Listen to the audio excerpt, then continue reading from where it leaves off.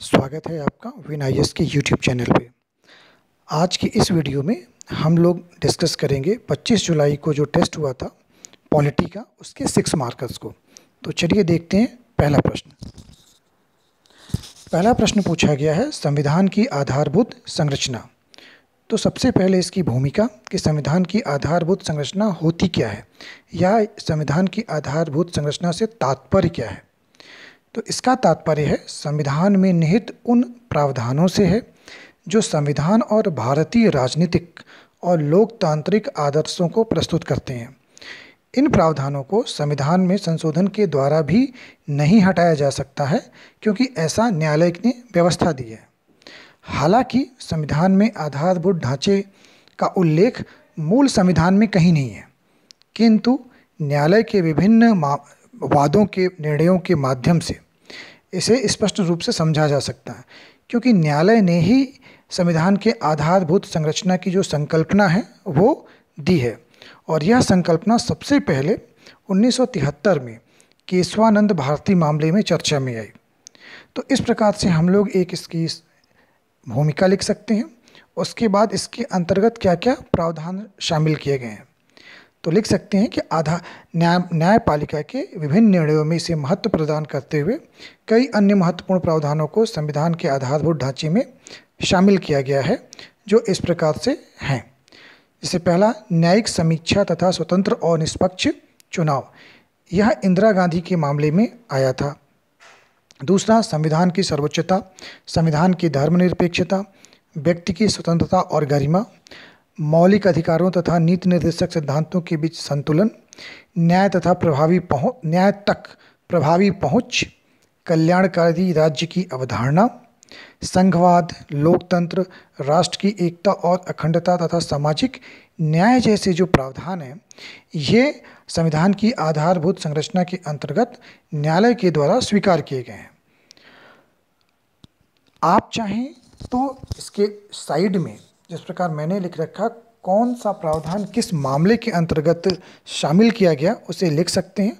और यदि याद नहीं आ रहा तो कोई बात नहीं तो भी चलेगा।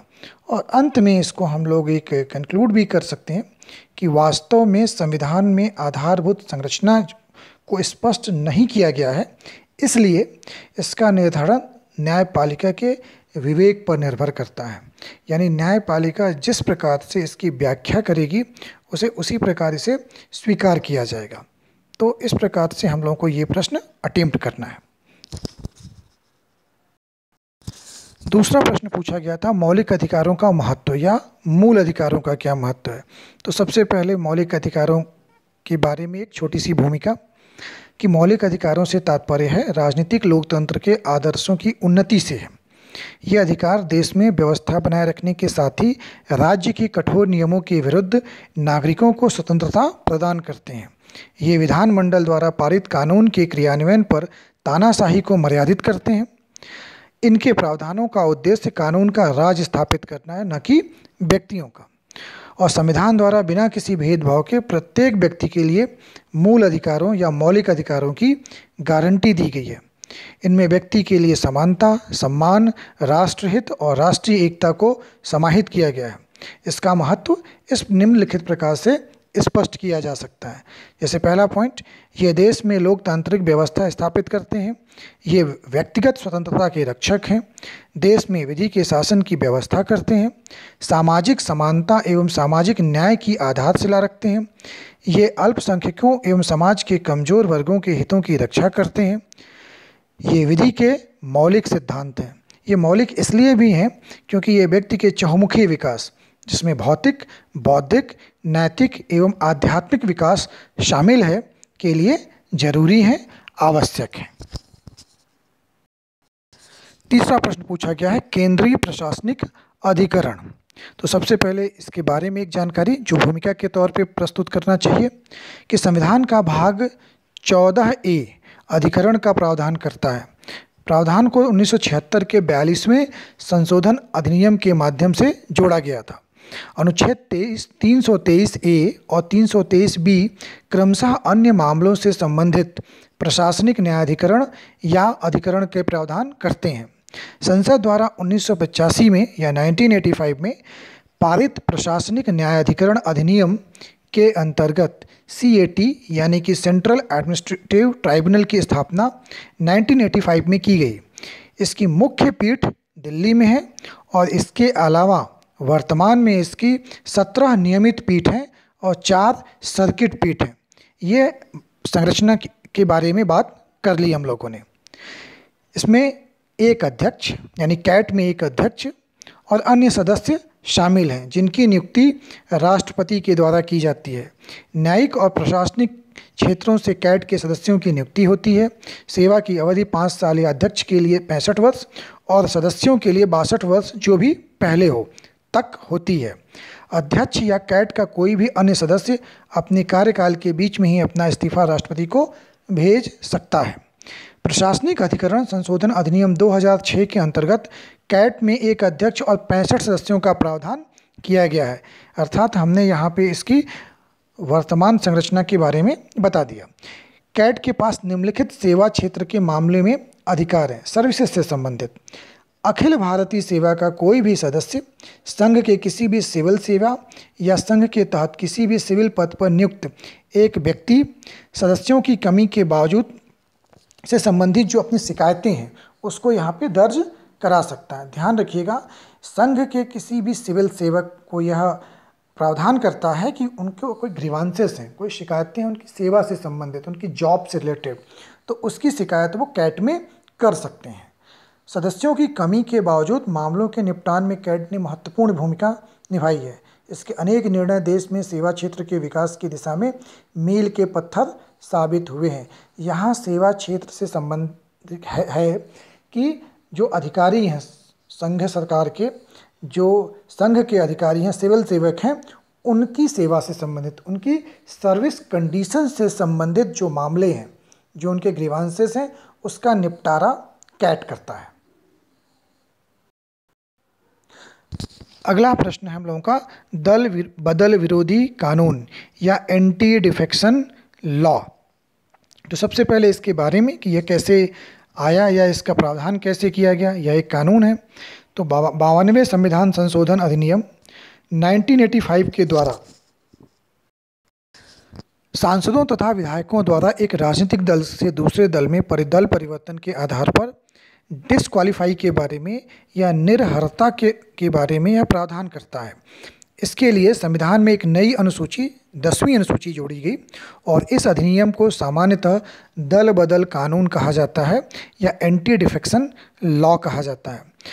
नाइन्टी फ़र्स्ट कॉन्स्टिट्यूशनल अमेंडमेंट 2003 के द्वारा या इक्यानवे संविधान संशोधन अधिनियम 2003 के द्वारा दसवीं अनुसूची के उपबंधों में एक परिवर्तन किया गया है। इसने एक उपबंध को समाप्त कर दिया, अर्थात अब विभाजन के मामले में दल बदल के आधार पर अयोग्यता नहीं मानी जाएगी। बशर्ते कि ऐसे विभाजन में संबंधित दल के कम से कम एक तिहाई सदस्य शामिल हो। अनुसूची टेन, पैरा तीन में इसका उल्लेख है। तो ये एक संक्षिप्त इसका विवरण और उसके बाद जो इसके उपबंध हैं, यानी जो प्रावधान किए गए हैं, वो लिखना है। कि दसवीं अनुसूची में दल परिवर्तन के आधार पर सांसदों तथा विधायकों की निर्भरता साबित हो सकती है। जैसे किसी सदन का सदस्य जो किसी राजनीतिक दल का सदस्य है, उस सदन की सदस्यता के निर्हरक माना जाएगा, यानी योग्य नहीं माना जाएगा। यदि वह स्वेच्छा से त्यागपत्र दे दे, यानी कि राजनीतिक दल की सदस्यता को छोड़ दे, या यदि वह उस सदन में अपने राजनीतिक दल के निर्देशों के विपरीत मतदान करे या मतदान में अनुपस्थित रहे तथा राजनीतिक दल से उसने पंद्रह दिनों के भीतर क्षमादान न पाया गया हो। तो इस तरह के कुछ जो प्रावधान हैं इसके अंतर्गत, उसको हम लोगों को इस उपबंध के अंतर्गत लिख देना चाहिए। और इस कानून को भारत की नैतिक राजनीति में एक ऐतिहासिक घटना के रूप में भी माना गया है। इसने विधायकों या सांसदों को राजनीतिक माइंडसेट के साथ नैतिक और समकालिक राजनीति करने को मजबूर कर दिया है। दल बदल व विरोधी, दल बदल विरोधी कानून ने राजनेताओं को अपने व्यक्तिगत लाभ के लिए, दल बदलने के लिए हतोत्साहित किया है। हालाँकि इसकी कई बड़ी कमियाँ भी हैं और यहाँ तक कि कई बार यह दल बदल को रोकने में विफल भी रहा है, जैसा कि हम लोगों ने हाल ही में मध्य प्रदेश के मामले में देखा। कि विधायकों ने इस्तीफ़ा दे दिया, यानी उन सीटों को खाली कर दिया और उसके बाद उन्होंने दूसरी पार्टी को ज्वाइन कर लिया।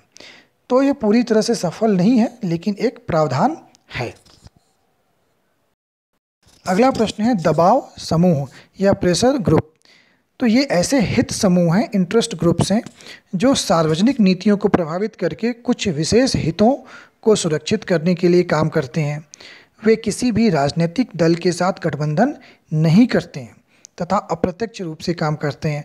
परंतु ये बड़े ही पावरफुल ग्रुप्स होते हैं, जैसे ट्रेड यूनियंस हो गई, किसानों के संघ हैं, है ना? तो इन्हें दबाव समूह कहते हैं और इनकी कार्य प्रणाली यानी कि किस प्रकार से काम करते हैं। तो दबाव समूह विभिन्न समुदायों की मांगों और हितों का प्रतिनिधित्व करते हैं, जैसे ट्रेड यूनियंस हैं, वो ट्रेडर्स की डिमांड को सरकार के सामने रखते हैं। किसान संघ हैं, वो किसानों की मांग को सरकार के समक्ष रखते हैं। ये लोगों को राजनीतिक प्रक्रिया में भाग लेने के लिए प्रोत्साहित करते हैं। मतदाताओं को शिक्षित और सूचित भी करते हैं और इस प्रकार वे राजनीतिक शिक्षा को बढ़ावा देते हैं। लोकतंत्र को मज़बूत करने के लिए सामाजिक परिवर्तन के उद्देश्य को प्राप्त करने में दबाव समूह महत्वपूर्ण भूमिका निभाते हैं। दबाव समूहों के माध्यम से नीति निर्माताओं को यह पता चलता है कि कुछ खास मुद्दों पर जनता के क्या अनुभव करती है या जनता क्या सोचती है या जनमत क्या कह रहा है? इन समूहों ने अपने प्रभाव का दुरुपयोग भी किया है और समय समय पर देश के सामने प्रतिकूल परिस्थितियाँ भी उत्पन्न की हैं। भारत में कई दबाव समूह मुख्य रूप से विभिन्न असंवैधानिक पद्धतियों के माध्यम से सरकार को प्रभावित करने की कोशिश करते हैं, जैसे कि हमले करना, आंदोलन, प्रदर्शन, तालाबंदी, आगजनी की घटनाएँ। तो ये इसका एक नकारात्मक पहलू है। तो हम लोगों ने पॉजिटिव और नेगेटिव दोनों लिख दिया। फिर भी ये लोकतंत्र में एक महत्वपूर्ण भूमिका निभाते हैं। अगला प्रश्न था, राष्ट्रीय एकता परिषद या नेशनल इंटीग्रेशन काउंसिल। इसका गठन 1961 में किया गया था, तत्कालीन प्रधानमंत्री पंडित जवाहरलाल नेहरू के द्वारा। और इसका उद्देश्य था सांप्रदायिकता, जातिवाद, क्षेत्रवाद, भाषावाद और संकीर्णता की बुराइयों को निपटाना या उनसे निपटना। एनआईसी की पहली बैठक उन्नीस सौ बासठ में हुई थी। वास्तव में 1961 में पंडित नेहरू ने एक बैठक बुलाई थी इन मुद्दों से पे चर्चा के लिए और अगले साल से ये बैठक कंटिन्यूस कर दी गई। तो इसी को राष्ट्रीय एकता परिषद का नाम दिया गया। एनआईसी ने बस 1968 में हुई बैठक में विविधता में एकता, धर्मों की आज़ादी, धर्मनिरपेक्षता, बराबरी, सामाजिक, आर्थिक एवं राजनीतिक न्याय और सभी मुद्दों में भाईचारे को अपने उद्देश्य को घोषित किए थे। यानी इसका पूरा जो कुल उद्देश्य है वो ये है कि राष्ट्रीय एकता को बढ़ावा दिया जाए। यह एक सरकारी सलाहकारी निकाय है और इसकी अध्यक्षता प्रधानमंत्री स्वयं करते हैं। इसमें कैबिनेट मंत्री बड़े बड़े उद्यमी, मशहूर हस्तियाँ, मीडिया प्रमुख, मुख्यमंत्री और विपक्षी नेता आदि सभी शामिल होते हैं। फिर प्रश्न पूछा गया था, सिविल सेवकों को प्राप्त सुरक्षाएँ, यानी जो सिविल सेवक हैं, उनको क्या क्या सुरक्षाएँ दी गई हैं? तो यहाँ पे हम लोगों को मुख्यतः जो संविधान के अनुच्छेद 311 में लिखित सुरक्षाएँ हैं, उनका वर्णन करना है, उनको लिखना है, जो कि इस प्रकार है कि संघ या राज्य की सिविल सेवा के सदस्य या अखिल भारतीय सेवा के सदस्य या वे व्यक्ति जो संघ या राज्य के अधीन कोई भी सिविल पद धारण करते हैं, उन्हें अनुच्छेद 311 का संरक्षण प्राप्त है। उन्हें ऐसे प्राधिकारों द्वारा पदच्युत नहीं किया जा सकता मतलब हटाया नहीं जा सकता जो उसकी नियुक्त करने वाले अधिकारी के अधीनस्थ हो। जैसे एक आई की अगर अपॉइंटमेंट राष्ट्रपति के द्वारा होता है तो उसे राष्ट्रपति ही हटा सकते हैं। नीचे का कोई भी व्यक्ति उसे नहीं हटा सकता। ऐसे व्यक्ति को बिना जाँच के पद से नहीं हटाया जा सकता, या पद से अवनत भी नहीं किया जा सकता, यानी डिमोट भी नहीं किया जा सकता। और जाँच में निम्न बातों का ध्यान रखा जाता है कि उसके विरुद्ध क्या आरोप हैं यह उसे सूचित किया जाएगा। सुनवाई का उसे प्रॉपर अवसर दिया जाएगा, है ना? और बयालीसवें संविधान संशोधन अधिनियम उन्नीस के पूर्व सुनवाई का अवसर दो बार दिया जाता था। पहले उसके विरुद्ध आरोप के लिए और दूसरे जब शास्ति अधिरोपित करने का प्रस्ताव होता था, यानी उस पर दंड लगाने का का प्रस्ताव होता था अब बयालीसवें संशोधन के पश्चात यह नियम है कि जाँच के दौरान जो साक्ष्य पेश किया जाता है, उसके आधार पर ही शास्ति अधिरोपित की जा सकती है मतलब उस पर मामला दर्ज होगा। वहीं दूसरी सुनवाई का अवसर देना विधि की अनिवार्यता नहीं रह गई है, यानी कानून को परिवर्तित कर दिया गया है। अगला प्रश्न था, भाषाई अल्पसंख्यकों के लिए संविधान में क्या प्रावधान है? तो सबसे पहले अनुच्छेद 29 और 30 का उल्लेख करना है। कि अनुच्छेद 29 एक के अनुसार किसी भी सदस्य के लोग जो भारत के किसी राज्य में रहते हैं या कोई क्षेत्र जिसकी अपनी आंचलिक भाषा है, लिपि है या संस्कृति है, उसे क्षेत्र को संरक्षित करने का उन्हें पूरा अधिकार होगा।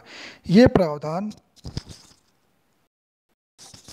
ये प्रावधान जन प्रतिनिधित्व कानून 1951 के अंतर्गत किए गए अनुच्छेद 30 एक के तहत सभी अल्पसंख्यकों को धर्म या भाषा के आधार पर अपनी पसंद के अनुसार अपनी शैक्षिक संस्था को स्थापित करने का अधिकार दिया गया है।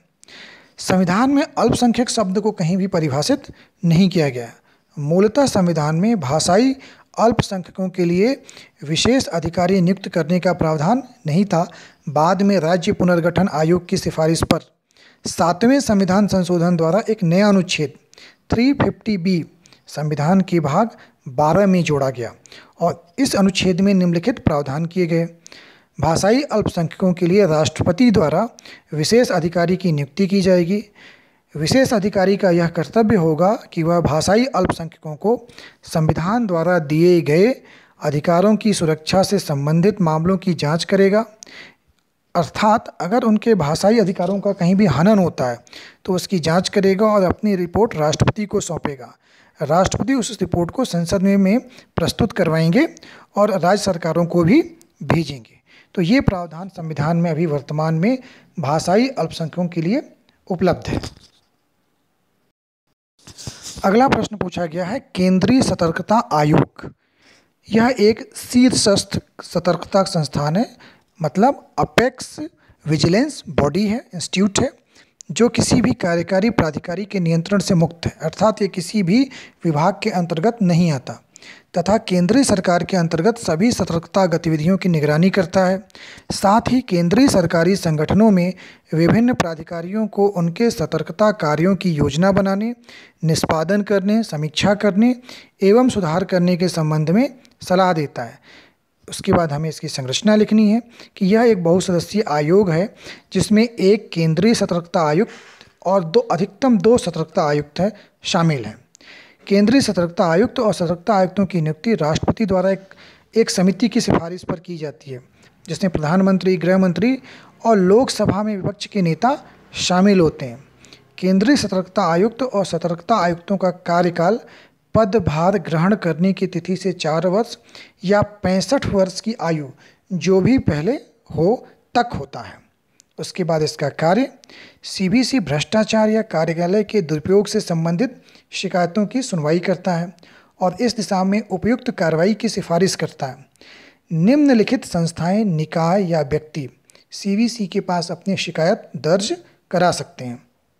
केंद्र सरकार, लोकपाल सूचना प्रदाता, यानी कोई भी जो इसके पास इंफॉर्मेशन हो, मुखबिर या विशिल ब्लोअर या सचेतक।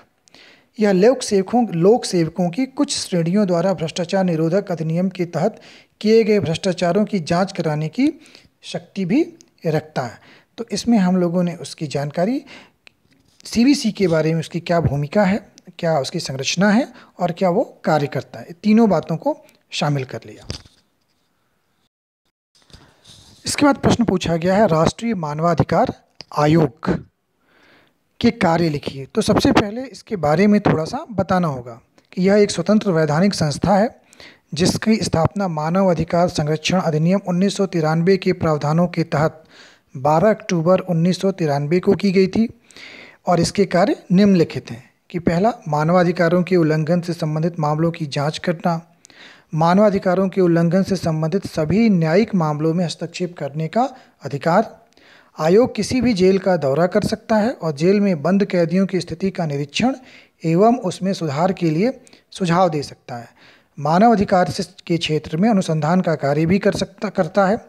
आयोग के पास दीवानी अदालत की शक्तियाँ हैं और यह अंतरिम राहत भी दे सकता है। इसके पास मुआवजे या हरजाने के भुगतान की सिफारिश करने का भी अधिकार है।